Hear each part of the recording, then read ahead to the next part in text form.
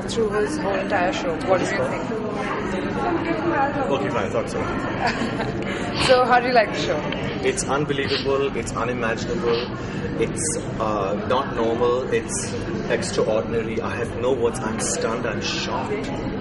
He's just, he's just gifted. You know, when people are gifted and uh, you look at God when people have gifts, he has that gift that God's given him. It's unreal.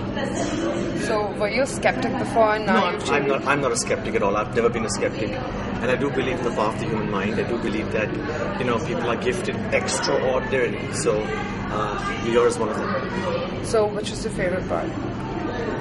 Just anything. The, even the last part was fantastic, but just I just don't understand how in that box he had the whole show written out. It's it's unreal. It's un- I don't know. I don't know what to say. So now that you have, did you get a copy of this of Yes. I bought it So, immediately. uh, do you think you'll be able to uncover some? I will never get sick. Let me see. Just, I, I just can't get over this.